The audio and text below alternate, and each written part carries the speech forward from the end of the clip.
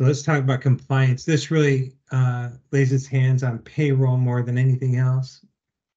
Yeah, yeah, so um, in terms of year-end compliance updates from Sage, you know, in years past, we've had what they call IRDs, which are year-end program changes to accommodate 1099 changes or W-2 changes, that kind of thing. There is no year-end IRD, which is good news. Um, so there's nothing, potentially, there's nothing that's going to need to be done in terms of an installation for year-end. Um, couple exceptions to that. Um, if you're using Aatrix for W-2 reporting for payroll or um, 1099 reporting through accounts payable, um, then there are some minimum version requirements you need to be on in order for Aatrix to function.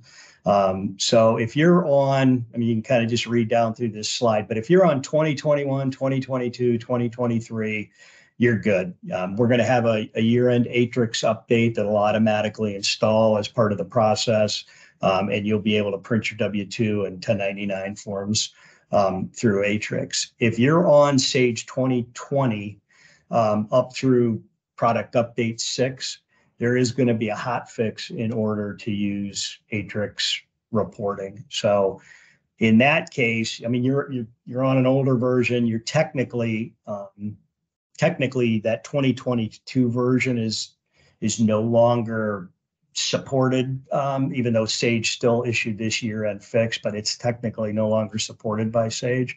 Um, so we would need to install a, a hot fix um, to use the the Atrix reporting. So check on that if you're doing if you use 1099s or or W2s, we should be fine. All of our customers that use payroll I don't believe we've got anybody on 2020, but if you 1099s, we're not as clear on, because we have a lot of customers that do 1099s, we're not involved in that. You'll want to see um, if you're on 2020, we might need a hot fix. If you're on a version prior to that, we're going to have to figure something else out. The only other comment there um, is there's there is going to be a payroll 2024 at some point. I don't think we've seen that yet.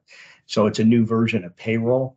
Uh, that's not required to, to get through the 2023 year end. It's just going to be available. And so no requirement to install that in, in, in preparation of the year end, but there is going to be a new, uh, a new version of payroll 2024